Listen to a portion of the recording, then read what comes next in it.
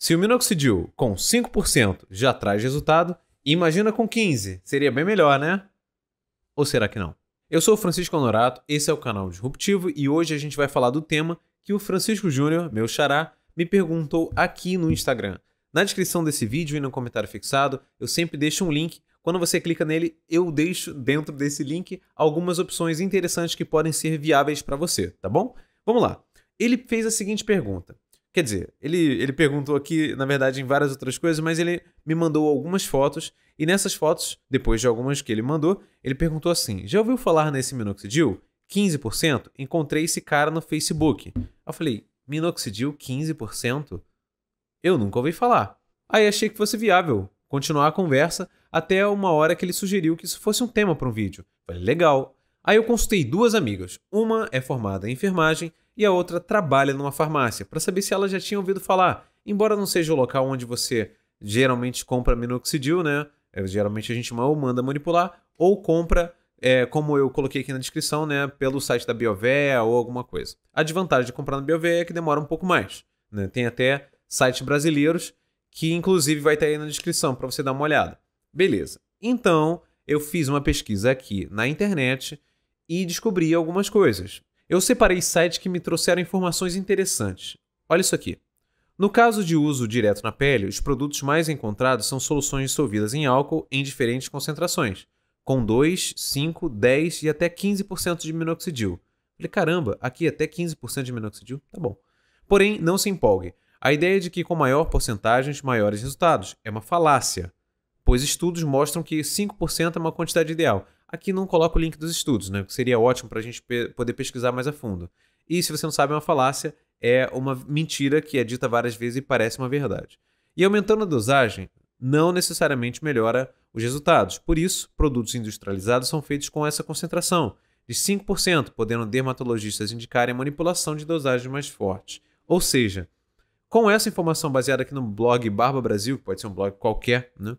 aqui a gente tem a, a sempre a necessidade de um dermatologista para dizer qual é a tua necessidade. Porém, já é uma coisa antiga. Se fosse tão importante assim, dosagens maiores, então eles teriam feito há muito tempo, porque o uso do minoxidil já tem muitos e muitos anos. Eu não sei quanto tempo, mas são, tipo, cara, para mais de 20. Então, uma coisa que a minha amiga disse que faz muito sentido, cara, eu falei que vou falar isso no final, tem mais sentido. É, calma, calma, a gente chega lá. Beleza. E aí, o seu uso pode causar os seguintes efeitos colaterais, tanto no cabelo quanto na barba. O crescimento desejado de cabelos em outras partes do corpo, isso não aconteceu comigo, não que eu tenha notado. Coceira pela barba ou couro cabeludo coça. Depois que a gente aplica, leva um tempinho, no meu caso, talvez assim uns 40 minutos a uma hora, começa a coçar um pouco. Aí passa ali uns 20 minutos, 30 minutos, para de coçar. Eu não sei se é o período que está sendo absorvido. Aparecimento de caspa na barba ou no couro cabeludo, isso já acontecia comigo, porque eu tenho dermatite, dermatite seborreica, eu acho que esse é o nome, né? Então é necessário você usar algumas outras coisas. Eu estou usando um shampoo de cetaconazol, que ele é vermelhinho, 2%. É, melhorou, pelo menos assim. Esses shampoos anti-caspa, cara, eu não lembro dele ficar muito bom não. Aquele Head and Shoulders, por exemplo, é o que eu usava. Tinha vezes que ardia o couro cabeludo, não sei se era algum tipo de coisa que ele eles colocavam lá, eu não sei. Bom, de qualquer forma, estou usando. Perda de cabelo maior que a normal nas duas primeiras semanas, porque o produto induz uma queda nos fios. No meu caso, né, para depois estimular o crescimento dos mesmos. Isso aqui o pessoal falava, eu não tinha notado nada. Até uns 5 ou 6 meses de tratamento, que meu cabelo começou a cair muito, muito. Assim, ia no banheiro, passava a mão no cabelo, saía tipo 20 fios de cabelo. Falei, que isso? Né? É, parecia muito mais absurdo. Então eu não sei se é porque por causa do uso do minoxidil, ou se de repente já tinha aumentado o nível lá de A a G, né, que é alopecia, é isso? Alopecia androgenética? Enfim, é A a G. É, dores de cabeça regulares, não tem. Redução de libido, vontade de fazer sexo, também não tem. Não, não mudou em nada. não tenho libido. Agora entendi a piada, eu mesmo falei, eu mesmo me zoei. Aumento da secreção de sebo pelas glândulas sebáceas, deixando a barba e o cabelo mais oleoso que o normal. É, parece, parece isso. Agora vamos lá. Aqui tem uso da via oral, mas aí não é o nosso caso, né? A gente só usa topicamente. Aí eu achei um site aqui da Oficial Pharma. Esse site, ele tem um minoxidil turbinado. Eu falei, caraca, será que é o 15%? Minoxidil turbinado deve ser isso, né? Quando você vem aqui na composição, ele diz o seguinte: minoxidil 5%, propli... Caraca, é difícil, hein? É difícil, calma que a gente consegue. propilenoglicol 10%. Aí, a essa hora agora tem gato miando na rua, tem um cara da o cara vendendo gás na rua, é incrível. Desculpa por isso, mas eu acho que a informação é mais relevante. Depantenol 10% e biotina 0,01%. Além da solução hidroalcoólica, né? Então, você tem que ter uma mistura ali, né? E aí, esse hidroalcoólica basicamente é o quê? Álcool. E aí você mistura esse monte de coisa. Pode ser que funcione melhor, porque eu, sinceramente, não tenho usado esse propilenoglicol e depantenol. Não, biotina eu tenho, mas o biotina eu tô tomando. Então, é algo a mais para se pesquisar. No entanto, o meu. Como é que é o nome daquilo? São o microagulhamento e a outra marca de minoxidil, que é a Foligan. Foligan. Também já está bem próximo aqui de casa, né? Já chegou no Brasil, eu finalmente vou poder é, fazer o teste aqui para vocês nos próximos vídeos, mas vamos continuar. Ah, tá, e tem mais outra coisa. Me sugeriram uma fita, não, era um creme anti, é, antidérmico, não, alguma coisa transdérmico. Creme transdérmico com finasterida e mais outro treco lá. Esse eu vi e fiquei bem interessado. Finasterida eu não pretendo tomar. Seria a última das últimas opções, cara. Finasterida não. Mas na pele pode ser, porque aí evitaria todas aquelas é, síndromes das pessoas que têm, já tomaram finasterida, né? E tem ali algum problema. Eu não sei. Tem pessoas que não tiveram problema, tem pessoas que tiveram. Talvez os problemas que essas pessoas tiveram, talvez fosse alguma outra coisa que estava passando na vida delas, junto com o estresse. Claro que pode ser eu prefiro não arriscar. Então, né, como a proposta desse canal é usar uh, em última ocasião e já aceitando que transplante né, do cabelo seria a melhor situação que a gente tem hoje, perfeito. Eu estou nessa situação, né? Eu já aceito. Então, o que dá para a gente minimizar a queda ou até crescer alguma coisa, show. Ah, falando em crescer, antes de eu passar para o próximo site aqui. Tem mais outra pessoa mandou mensagem para mim agora, acho que foi o Vinícius. É, Vinícius. Vinícius, é, mandou mensagem para mim no Instagram na mensagem privada, né? E ele mostrou todo feliz, assim, que começou a crescer uns fiozinhos né, no cabelo. e ele não acreditava nisso. Ah, essa porcaria aí, isso é tudo caô. E ele veio aqui por causa do canal, então vale a pena mencioná-lo. E ele ficou muito feliz, mandou aqui o videozinho e tudo mais. Eu não sei se dá para mostrar, mas eu, eu, acho que o foco desse vídeo é outra coisa. Eu tô devagando, desculpa. Bom, aí vamos para os sites, né? Eu fiz a pesquisa ali de minoxidil 15%. E quando eu acho algum site, eu vejo isso aqui, por exemplo. Barba Bruta é, barbabrutashop.com. Ok, tem um site bonito, tem esse minoxidil aqui, que é. Tem qual é o nome dele? É minoxidil. Ah, tá, não sei o nome dele. Beleza, aí tá aqui um site que. É, assim, se você observar, esse site está tá mal construído, né? Você tem um campo em branco aqui na esquerda, pelo menos aparece assim no meu navegador, né? Não sei se de repente tem alguma coisa. E esse tipo de, de situação me deixa. faz parecer que a pessoa fez o site, sabe, de, de é, não foi assim com toda a vontade do mundo. Porque eu sou, é, cara, eu sou perfeccionista para as coisas, então realmente isso me incomoda. Só que aí tem um detalhe. Pode ser que funcione? Pode. Eu achei vídeo na internet falando, achei, mas vídeo com pouquíssima, com pouquíssimos inscritos, com pouquíssimas visualizações. Tem um rapaz que está vendendo esse minoxidil aqui através do canal dele. Então, e ele tem também um link de afiliado, né? Assim como eu tenho da Biover. Mas assim, ah, como posso dizer? Acho que se a sua solução de 15% ela fosse tão eficiente, outras pessoas já estariam usando e a gente já teria mais conteúdo há mais tempo. Vamos fazer uma análise. Por exemplo, existe um site que a gente pode usar chamado. É, deixa eu ver aqui, ó, SimilarWeb. Eu coloquei o meu site como, compara como comparação. Meu site ele aparece aqui com uma classificação global, né, classificação por país, etc. Tá. Aí tem aqui a total de visitas. Se você observar, essas visitas aqui, elas foram caindo, né? Beleza, tudo bem. Acontece, isso aqui está atrasado. Eu tive uma métrica errada, então na verdade ele não contabilizou. Mas essa média aqui, ó, quase 3 mil visitas por mês.